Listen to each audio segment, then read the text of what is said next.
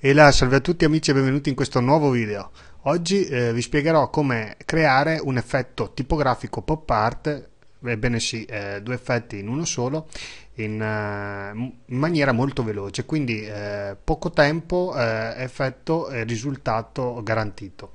Ma vediamo come realizzarlo. Ci apriremo ovviamente mh, una foto, adesso mi apro questa ehm, lo schermo. Bene, cosa andremo a fare? Andremo su eh, filtro, galleria filtri, ci andremo ad adattare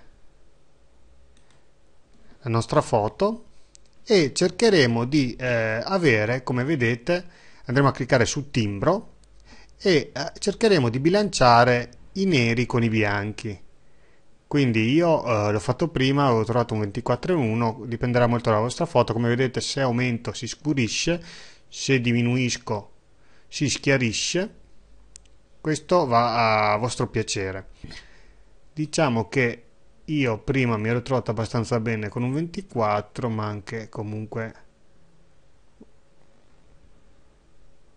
un 22 non va male Sfumatura mi raccomando deve essere a 1 perché altrimenti verrebbe troppo marcata e clicchiamo su ok.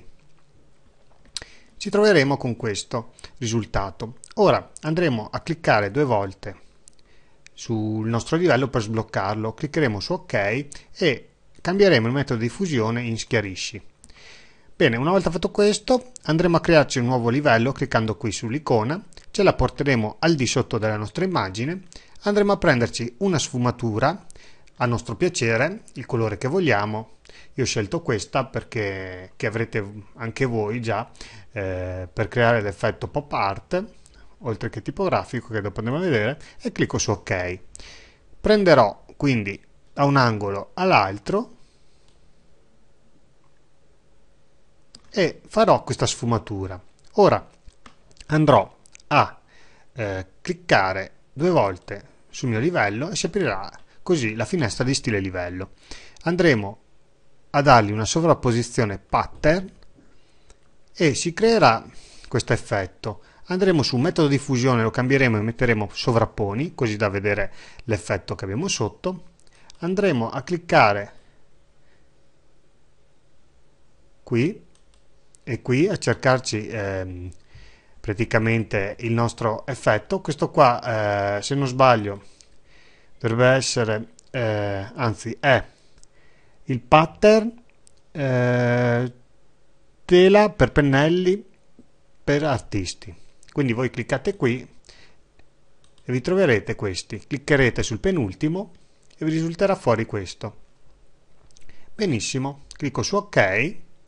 Se devo variare con l'opacità in base a vostro piacere, guardateci voi. E clicco su ok. E voilà, il gioco è fatto, non ci rimane che magari metterci una nostra scritta